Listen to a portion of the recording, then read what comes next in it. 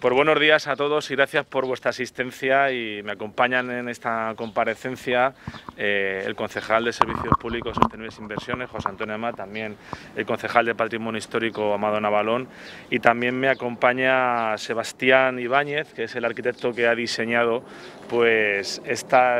este proyecto consiste en dos plazas, la remodelación de dos plazas, que se va a hacer en dos fases, la plaza de Santiago y también la plaza del Matadero, pues una más un, sitio emblemático para, nuestra ciudad. Estas actuaciones vienen enmarcadas dentro del plan El Renace, que bueno, pues sabéis que lleva el espíritu de eh, recuperar y poner en valor espacios históricos y espacios eh, pues, eh, que con una cierta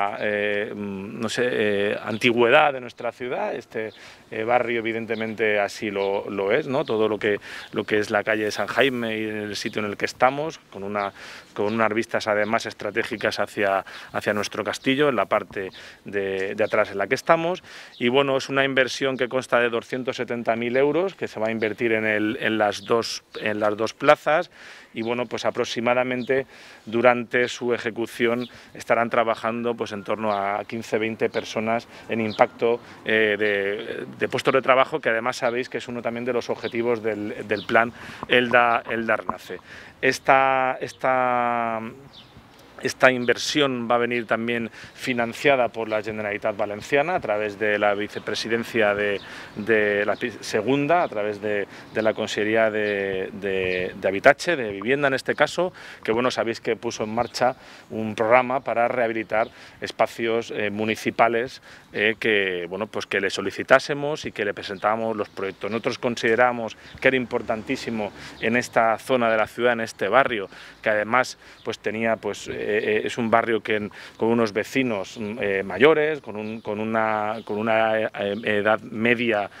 por parte de los, de los vecinos alta y creo que necesitábamos bueno, pues, poner en valor el espacio público, que sabéis que es una cuestión que siempre comparto con ustedes, porque a partir de que esté ese espacio público pues, digno y esté pues, cuidado y esté, en este caso, modernizado a través de, la, de, la, de esta remodelación, pues bueno, siempre será más atractivo para poner eh, en valor las, viviendas y para que también sea atractivo para que las personas vengan a vivir. También tenemos una cuestión eh, importante que es debajo, debajo donde estamos, eh, tenemos constancia de que pueden haber algunos refugios antiaéreos, ¿no? sobre todo en la plaza de Santiago hay constancia, perdón, en la plaza del Matadero, perdón, que ahora lo explicará Sebas, pues tenemos constancia de que hay un, túnel de, unos 30 metros de largo y luego también en la calle, en la calle El Porvenir pues también hay una, había una entrada, una boca que entraría pues a toda la zona un poco más alta de, esta, del barrio, ¿no? con lo cual pues también cuando iniciemos las obras pues también haremos la prospección de a ver qué, si, en qué condiciones están esos refugios eh, antiaéreos. Y bueno, por mi parte nada más, pues eh, presentarles eh, otro proyecto más del plan Elda Renace, que, creo que también eh, veis que afortunadamente, bueno, pues poco a poco vamos cumpliendo eh, los plazos de, a nivel un poco burocrático y está metido dentro de los procedimientos administrativos del ayuntamiento y bueno, pues que poco a poco sea una realidad y, nada más. Yo por mi parte nada más y pasarle ahora a Sebas la, la palabra para que de alguna forma os explique alguna cuestión y si tenéis alguna cuestión técnica que preguntarle, pues él está a su disposición. Bueno, pues con el proyecto lo que se trata es de resolver la problemática existente en, en ambas plazas, Santiago Matadero y en la calle Neptuno, que se encuentran pues deterioradas por el paso del tiempo y por poco mantenimiento y que eh, dejan un aspecto un poco pues mejorable. Entonces existen ciertos desniveles que también hemos tratado de resolver y claro, el tema de accesibilidad pues también está muy atrasado. Entonces lo que hemos intentado es darle una cohesión a ambas plazas para que tanto Santiago como Matadero queden conectadas y estos desniveles al final nos sirvan para algo. ¿Qué quiere decir esto? Eh, hemos aprovechado los desniveles, por ejemplo, con la pista para formar un graderío, que sería toda esta zona de aquí, contando que es una zona estratégica para la ciudad, que siempre lo ha sido, y en este caso con las vistas al castillo pues se ha creado una plaza que con estas gradas tenemos una vista hacia allá donde se podrán hacer actos en un futuro o lo que, o lo que se considere. Eh, la zona también es de una carga histórica importante porque todo es la zona más antigua de, Elda. Y como decía Rubén eh, tenemos constancia de que existen una serie de galerías en el subsuelo que tanto por el georradar de la Universidad de Cádiz lo, hemos constatado como por testimonios y documentación municipal que existe. Y lo que vamos a tratar durante la intervención es de poner en valor los accesos para ver cómo se encuentran las galerías. eh,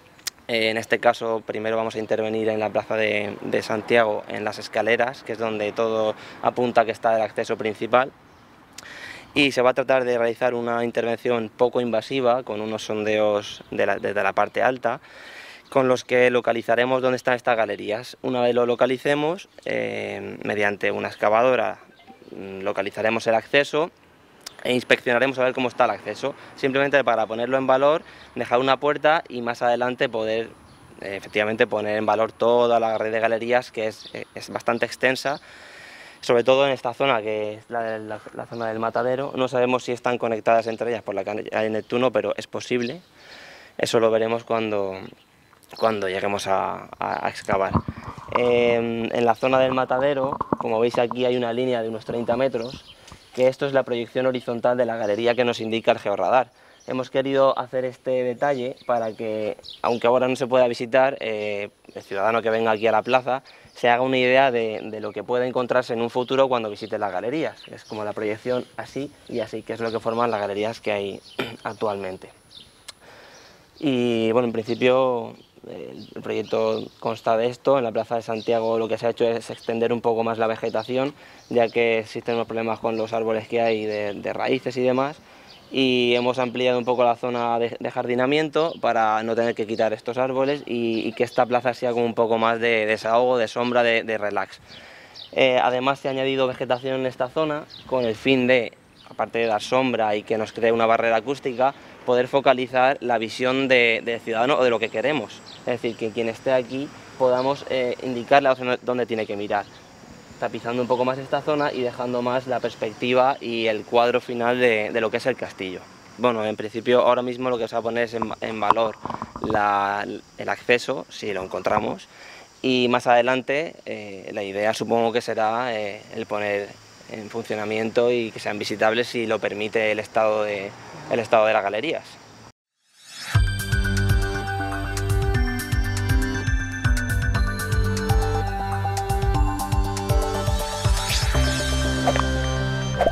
Intercomarcal Televisió.